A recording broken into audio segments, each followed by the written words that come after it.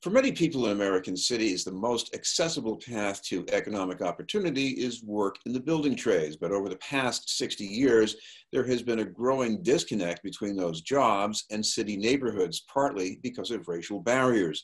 That's why the city adopted a resident job policy for major development projects in the 1980s. The policy has since been strengthened, but there still remain obstacles to inclusion. To bring us up to date, our guests from a group trying to expand inclusion, the co-founders of the Black Economic Justice Institute, Brother Lo and Priscilla Flint Banks. Uh, thank you very much for being with us. Thank you. Thank you for having us, Chris. Thank you, Chris. I want to start with Brother Lo because some people might be thinking like now uh, with so many things being shut down or curtailed that maybe there isn't much happening in construction and maybe this is not the best time to talk about making construction jobs more inclusive. What, what, what would you say to that? Well, what I would say to that, Chris, is you know, uh, construction operates on a booming and bust economy. And right now, and for the last 10 years, Boston has been booming. And the fact that uh, contractors are continually getting work in this city, and, and when we say contractors, are also talking about the fact that a lot of out of compliance contractors who repeatedly continue to come into the Boston community and get work. And, you know, the numbers are, have been dismal and continue to be dismal in terms of Boston residents getting employment on those those these particular sites. Priscilla, uh, remind our viewers, this, this uh, policy was strengthened just three years ago. So tell me, what were the target uh, percentages in this policy and, and, how are we doing? So they were increased to 51% um, Boston residents, 40% people of color, and 12% females. And they, um, the the um, residents is horrible. The, the, the numbers for the residents, some of these projects are at 20%, 25% Boston residents. They have a lot of people of color, but they bring people from out of the state. They bring people from, you know, we, we heard um, at, a, at a Boston Employment Commission meeting that they wanted to bring people from Georgia to do installation. So their, their um, people of color numbers are a lot better. However, their female numbers are horrible as well. And because the unions are not very inclusive of females and, and, and people of color and some Boston residents, it's, it's very difficult. And, and, and it seems like business is back as usual. I mean, we ride up and down these streets and we see all this construction going on. And it's like the, you know, the, the pandemic never even happened. They, they did shut construction down for a while. However, it's, it's back again. And so the, the, the, the new policy does not seem to be working either. Brother Lo, one of the things that uh, we seem to keep hearing, at least from contractors or subcontractors, is that you know no matter how many people there might be right now who are out of work and, and eager to get a job, uh, there aren't enough people who are job ready when it comes to the work in the building trades. Uh, is that true? Well, the, the fact is, uh, Chris, the uh, the people who control the training happens to be the same people who should be employing people, the unions. And if the unions are not providing training, I mean, they know 10 years ago that there was a shortage in terms of minority representation. And, and if you're not training these people, you're not providing those opportunities for them to be trained, how are you going to build a workforce? Uh, Priscilla, what about just even keeping track of that? Because uh, one of the other things I'm seeing in between the two sides here is that there might be people who are uh, uh trainable or close to job ready, but it, it's it's not that easy yet to keep track of who they are and and and to get hold of them. Do we need a better system to track those people? We do need a system. Um, the, the the city of Boston has what's called the Boston Job Banks, where a lot of people could go and apply for jobs and most people that go there are not union but they they've been having problems. They just i believe recently hired somebody. So especially if you're a non-union if you you know if you're not in a union you're looking for work you could go and apply for a job through the boston job bank. However that system doesn't work either.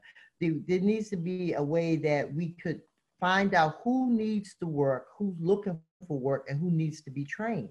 That's the training is so important.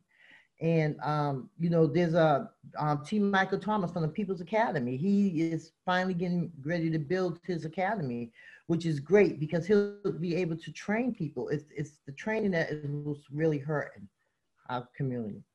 Right.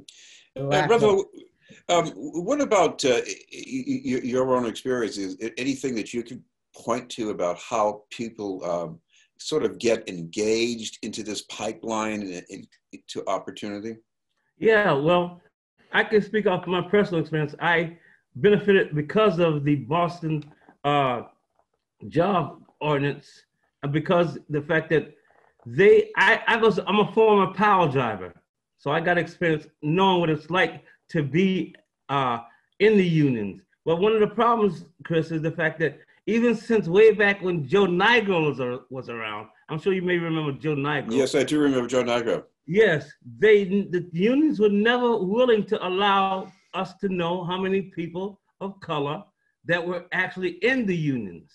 You know, they they they never give us an accurate uh, track of how many people in the unions. And when you don't know who's on the bench and how many people are sitting around, it makes it difficult. And then you there was a time, there was a moment when they were hiring, uh, training, but a lot of those people had to continue to be sitting on the bench while people that was already in the union, their buddies and stuff got all the work, you know?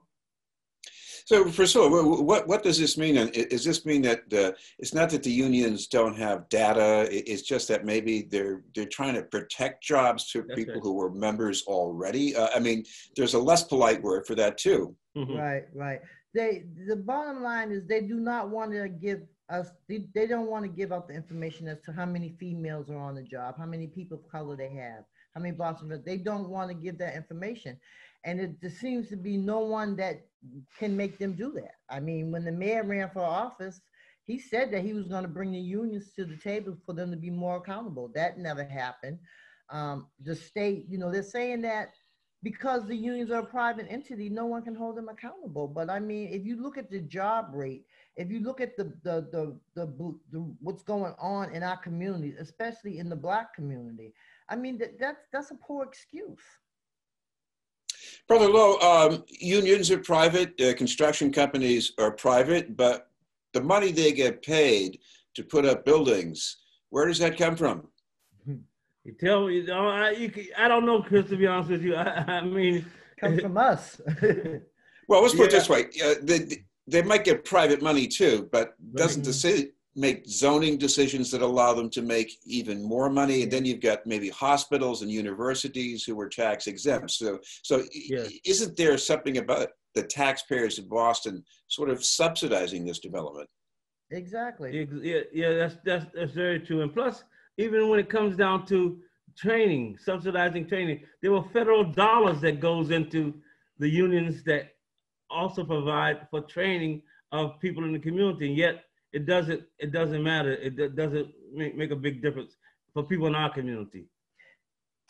And I just want to say, like, uh, as far as the colleges and the univer- and the hospitals, I mean, they have something called the pilot payment in lieu of taxes, which they're supposed to give a certain percentage um, back to the city, and and they they say it's voluntary. So they you know they some of the colleges are giving something, but I mean just imagine if all the colleges. I mean Northeastern is taking over Roxbury and, and, and Mission Hill.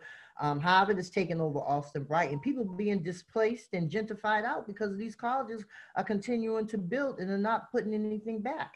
They could even go into the into the school system and help and help the students. I mean, for for Boston to be the mecca of education and the Boston School Department to be where it's at, it, it's sad.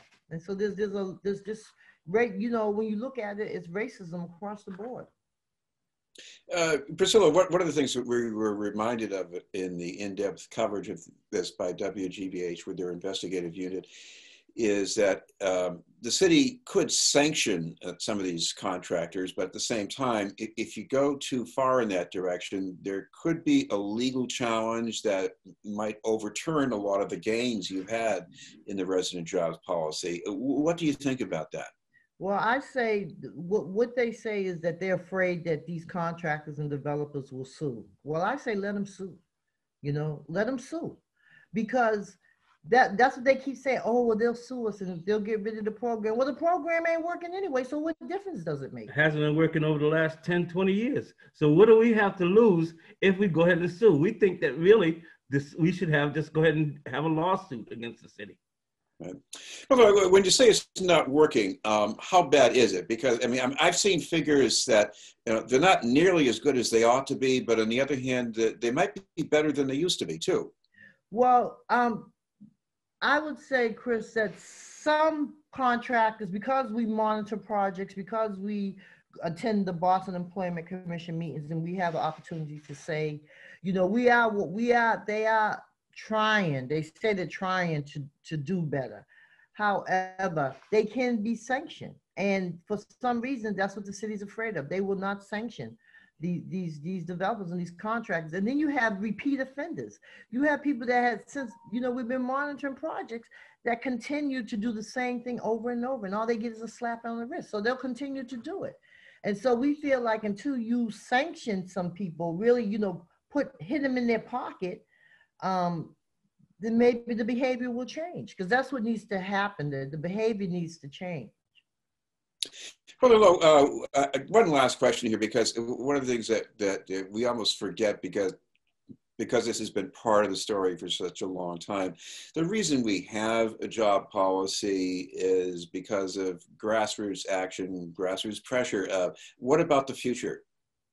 Well, I would hope that Chris, that there's there are a lot of in uh, unions to this day that still have not really increased the minority participations. Now, if you could get some of those unions, for instance, the elevator operators, to increase the minority participation, that could make a big difference. And these are things that people can be trained to do. There's several unions, like you mentioned about the trying to do better.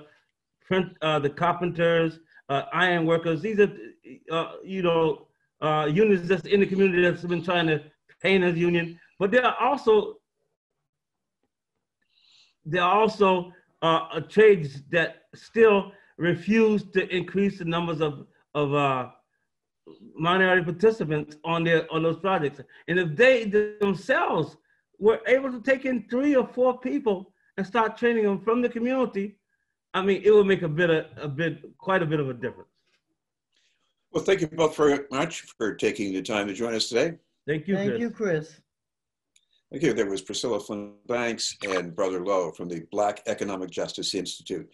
We'll have more news in just a moment.